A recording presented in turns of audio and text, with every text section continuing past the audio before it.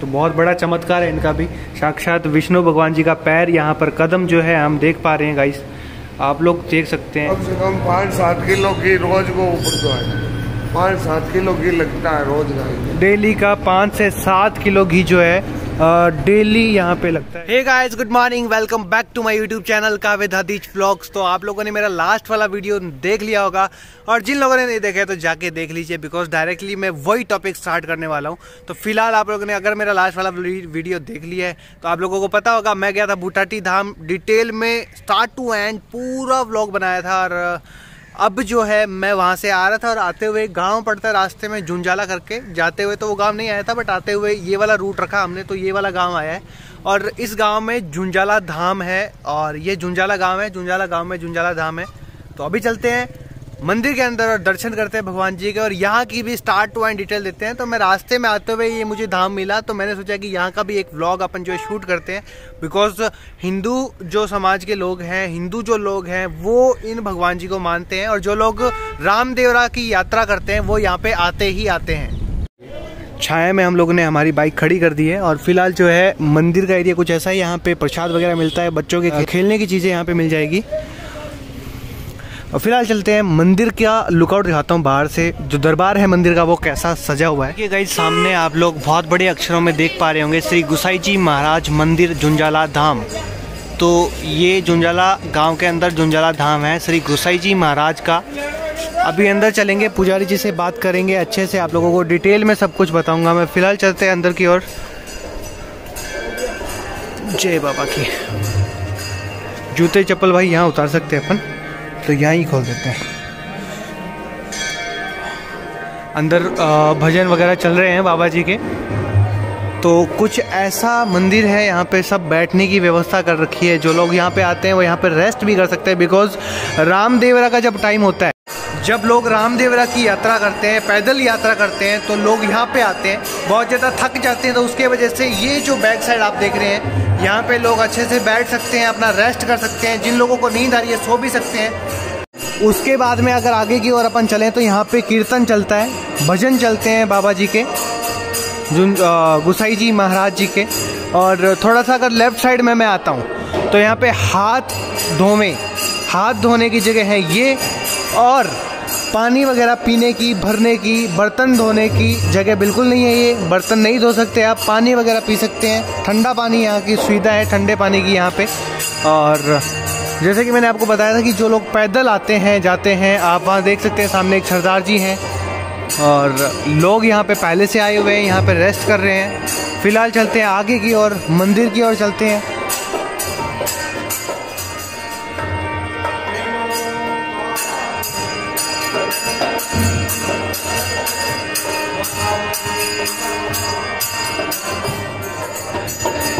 यहाँ पे कीर्तन चल रहा है बढ़िया।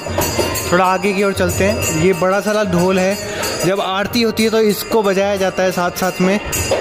और बहुत ही धूमधाम से आरती की जाती है। थोड़ा अपन भी घंटी बजा लेते हैं। जय हो बाबा जी की।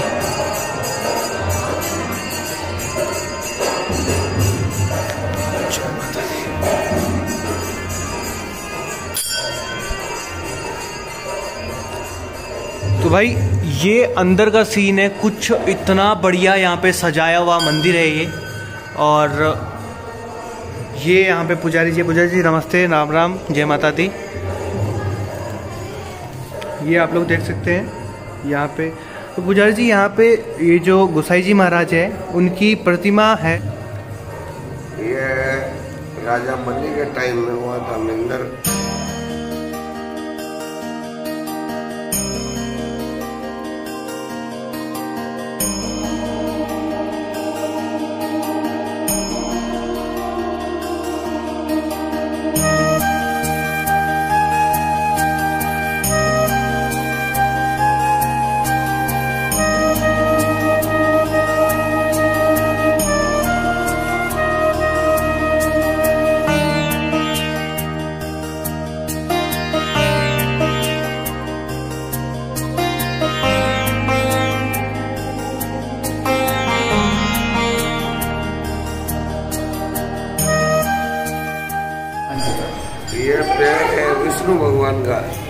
गाइज़ ये जो आप पैर देख रहे हैं साक्षात विष्णु भगवान जी का पैर है यहाँ। हाँ ये विष्णु भगवान का है। ठीक है।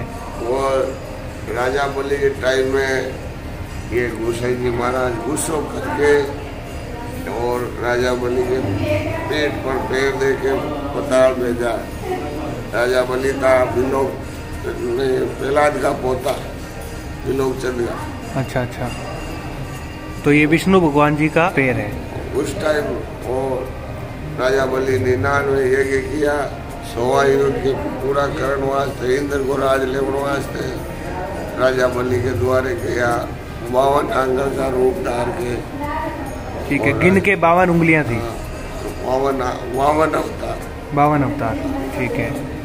राजा बलि के द्वारे गया और राजा बलि के द्वारे जाके तीन भावना चल करके तीन भावना के पेन मान गए। तीन कदम। हाँ। पूरी हुई नहीं। पूरी हुई नहीं इच्छा उनकी। पहला भाव मक्का मदीना है दूसरा ये अच्छा दूसरा ये पैर है ना? तीसरा राजा बलि के पीठ के माथे दे और पताड़ दे दिया। धरती खत्म हो गई मतलब। अच्छा। नाप ली थी ढाई में ही। तो बहुत बड़ा चमत्कार है इनका भी। साक्षात विष्णु भगवान जी का पैर यहाँ पर कदम जो है हम देख पा रहे हैं गाइस आप लोग देख सकते हैं। है। ये साक्षात विष्णु भगवान जी का पैर है। जब विष्णु भगवान जी अप- आ, यहाँ पे आए थे तो गिन के अपन ऐसे जिस हिसाब से अपन गिना करते हैं ना उस हिसाब से पूरे बावन उंगलियों के थे। बावन? बावन उंगलियों के थे। तो ऐसा कुछ श्री गुसाई जी महाराज का मंदिर सजा हुआ है। और सबसे बड़ी चीज़ चीज़ जो लगी विष्णु भगवान जी का साक्षात पैर यहाँ पर हम लोग देख सकते हैं। अमर ज्योति जो है अखंड ज्योत हर टाइम जब भी आप यहाँ पे आएँगे देखने को मिलेगी। श्री ना, नागौर ज़िले के अंदर झुंझाला गाँव के अंदर झुंझाला धाम श्री गोसाई जी महाराज का धाम यहाँ पर आप देख पा रहे हैं गाइस ये पुजारी जी यहाँ पर बैठते हैं। आप पुजारी जी कितने साल से हैं यहाँ पे? हम तो नंबर वाइज सेवा करते हैं। मेरे तीन भैया को परिवार है। तीन भाई का आपका परिवार है और नंबर वाइज आपकी यहाँ पे सेवाएँ रहती है। तो ये जो मंदिर यहाँ पे है ये कितने टाइम से है सर? सतयुग का। सतयुग का मंदिर है। काफ़ी पुराना है। बहुत। बहुत पुराना है। जो रामदेव जाते हैं ना हाँ। यहाँ आते हैं क्योंकि रामदेव जी का ज़रूर आया उतरा हुआ है। ओके। तो फ्रेंड्स ये बहुत बड़ी इन्फॉर्मेशन हम लोग को मिल गई। हमारे परिवार में कोई भी छोटा बच्चा होता है तो हम लोग किसी माता जी के मंदिर जाते हैं या फिर हरिद्वार जाते हैं एक बार बच्चे का जो है मुंडन करवाने के लिए। तो रामदेव जी भगवान जी का जो मुंडन हुआ था वो यहाँ पे हुआ था। हाँ उनका झड़ूला यहाँ पे उतरा था। बहुत बड़ा अपन ये समझ सकते हैं कि एक बहुत बड़ा नॉलेज हम लोग को मिला है यहाँ पे। विष्णु भगवान जी का साक्षात पैर यहाँ पे आप देख सकते हैं उनके कदम यहाँ पे पड़े हुए हैं। और यहाँ पे प्रसाद वगैरह चढ़ते हैं। पुजारी जी हैं, इनके तीन ब्रदर हैं, जो कि यहाँ पे वन बाय वन सेवाएँ देते हैं। अंदर से मंदिर का रूप बहुत ही ज़्यादा सुंदर है, काफ़ी बड़ा मंदिर है ये। और जब रामदेवरा का टाइम रहता है, जब पैदल यात्री जब आते जाते हैं, तब यहाँ पे अ, मतलब रहने की व्यवस्था की गई है। बहुत सारे लोग उस टाइम पे यहाँ पे आते हैं। इनफैक्ट जो लोग ऐसा सुनने में आया कि जो लोग यहाँ की यात्रा नहीं करके जाते हैं उनका रामदेवरा जाना सफल नहीं होता है ऐसा सुनने में मेरे आया है। तो अंदर जब अपन एंटर करते हैं तो कुछ ऐसा सीन है। अभी परिक्रमा देते हैं श्री गोसाई जी महाराज के। वाओ गाइस पूरा मिरर से सजाया हुआ है। इतनी ज़्यादा बढ़िया आर्ट है यहाँ पे। ये देखो श्री राम जी जी महाराज।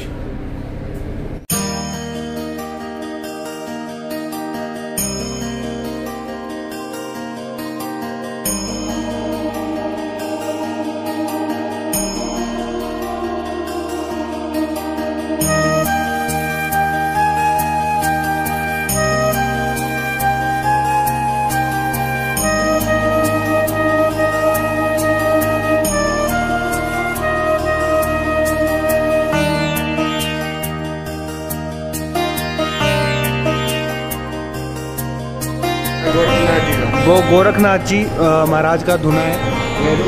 वो भैरव जी का स्थान है। वहाँ पे बाबा रामदेव जी का जरूला उतरा था। वहाँ पे? हाँ। ठीक है, तो- जी के आगीवान है भैरवनाथ जी ठीक है। वो भैरव जी के हैं भाई। चलते हैं। तो यहाँ पे श्री रामदेव महाराज का मुंडन हुआ था जड़ूला उतरा था भैरू बाबा के यहाँ पे। देख सकते हैं आप लोग।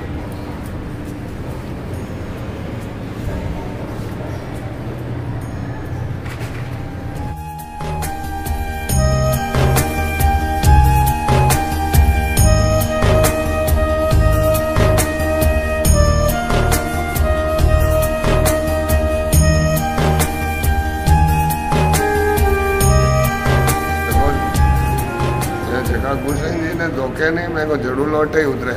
ठीक है। जी स्थान है। अट कोई कितना ही देवी देवता है बाबा गागीवान है नार सिंह है खेतरपाल है डाली भाई है रामदेव जी रो स्थान है गणेश जी है मायासर है जाल की माता है बहुत स्थान है। काफ़ी ज़्यादा मतलब आ, देवता अट बस है। सब लोग बाबा गागीवान है। गुसाई जी महाराज का। हाँ। तो अट जगह गुसाई जी महाराज ने जगह मान्य बांको जड़ूलो अटी उतरे। हाँ ठीक ठीक है। वो है जिनको गोरखनाथ जी का वो गोरखनाथ जी महाराज का धुना है। वहाँ पे उनकी बाकी जोत बटी हुए? हाँ बेटा तो चलते ही रहे चौबीस घंटा। अच्छा रात और दिन 24 घंटा अमर ज्योत है वो भी। कम से कम पाँच सात किलो की रोज को ऊपर तो है। पाँच सात किलो घी लगता है रोज का। डेली का पाँच से सात किलो घी जो है डेली यहाँ पे लगता है गाइस और ये है गोरखनाथ जी महाराज का धुना। गोसाई जी का धुना तो गोरखनाथ जी इधर तपस्या की। अच्छा। धोना तो गोसाई जी महाराज। है गोरखनाथ जी ने तपस्या की इधर बैठ के। फिर ये गोरखनाथ जी का तो ये गोरखनाथ जी का हो गया। ठीक है। गोसाई जी महाराज का धुना था गाइस ये। जहाँ पे अमर ज्योत जलती है उनकी। ये आप फ़ोटो आप जो देख रहे हैं, ये गोरखनाथ जी महाराज की फ़ोटो है। बट ये था गोसाई जी महाराज का। जब गोरखनाथ जी महाराज यहाँ पे आए थे, उन्होंने यहाँ पे बैठ के तपस्या की थी। उसके बाद में ये जो धुना है, वो गोरखनाथ जी का माना गया। तो यहाँ पे ये 24 घंटे दिन रात एनी टाइम जलता हुआ रहता है। ठीक है, और घी से जलता है। डेली का पुजारी जी का कहना है सात से आठ किलो घी डेली यहाँ पे लगता है।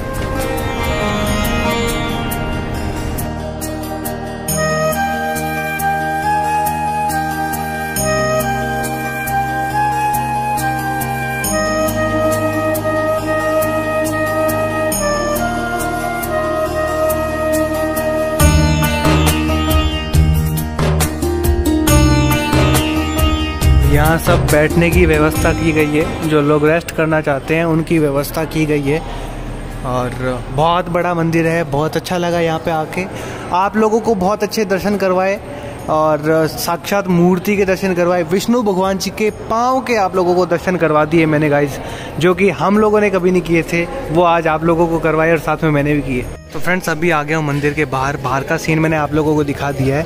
यहाँ का जैसा कि पुजारी जी ने बताया, यहाँ बगल में एक तालाब है, जिसका भी बहुत बड़ा चमत्कार है। तो फ़िलहाल चलते हैं उस तालाब पे और वहाँ पे, वहाँ की डिटेल आप लोगों को थोड़ी सी मैं देता हूँ। तो गाइज़ जो राम सरोवर, जो तालाब है श्री गोसाई जी महाराज का, जहाँ पे चमत्कार होता है। वहाँ मंदिर में तो होता ही होता है। यहाँ का जो चमत्कार है, मैं उस तालाब के बिल्कुल सामने बताऊँगा तो वो जो चमत्कार है, रोड के बिल्कुल अपोजिट डायरेक्शन में। वहाँ जो आप ध्वजा देख रहे हैं, वहाँ पे वो मंदिर है, जहाँ पे अभी हम लोग गए थे। और जहाँ के मैंने आप लोगों को अभी दर्शन करवाए थे, और उसके जस्ट यहाँ पे यहाँ पे है राम सरोवर तालाब। चलते हैं अंदर, आप लोगों को पूरी जानकारी देता हूँ डिटेल में। सो माय डियर फ्रेंड्स आप लोग सामने की ओर देख सकते हैं कितना ज़्यादा पानी है तालाब में और यहाँ का क्या सीन है? वहाँ बिल्कुल तट के पास में बैठ के आप लोगों को बताता हूँ। तो गाइज़ ये इतना बड़ा सारा तालाब है। पूरा का पूरा बारिश का पानी है, लेकिन यहाँ का पानी कभी ख़त्म नहीं होता, पहली चीज़। ठीक है? और दूसरी चीज़, यहाँ पे जो चमत्कार है मेन जो पुजारी जी ने हम लोग को बताया था, इस पानी से जो भी शुद्ध होता है, अपना शुद्धिकरण करता है, जिनकी आँखें नहीं होती, उनकी आँखें आ जाती है। मतलब आँखें होती है लेकिन देख नहीं पाता। जो अंधा होता है, वो देखने लायक हो जाता है। और जिनके चर्म रोग होते हैं या किसी भी प्रकार का कोई रोग होता है तो यहाँ पे पानी से अपना शुद्धिकरण करने से उसको चमत्कार होता ही होता है। कुछ ना कुछ सफलता उसको मिलती मिलती है, ऐसा पुजारी जी ने अपन को बताया था। मैं यहाँ पर फ़र्स्ट टाइम आया हूँ, आप लोगों को दिखा रहा हूँ सब कुछ। और आप लोग देख सकते हैं कितना बड़ा है ये।